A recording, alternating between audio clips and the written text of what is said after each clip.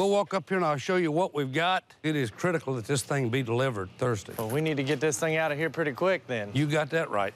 Hey, I've shipped plenty of carriages. They roll right in, roll right out, piece of cake. That's it over there, isn't it? Yes. If you'll notice, it's even taller than all these other carriages. I see that. This thing's 12,000 plus value.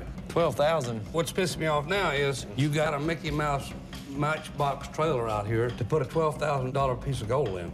These things usually go by semi. Well, the driver is semi-incompetent. Does that count? I want it to roll off the trailer in Yeah. Texas looking like it does today. Maybe Jarrett can call his fairy godmother to help.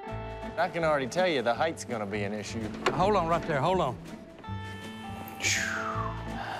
77 and a half inches ain't even gonna start getting there. Where did you drive to to get here?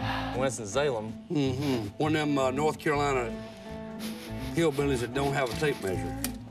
Why in the hell they send a little bitty truck like this out here to get a carriage like this? I don't know. How many times has that happened now? You don't have another trailer local, do you? No, Another shipper?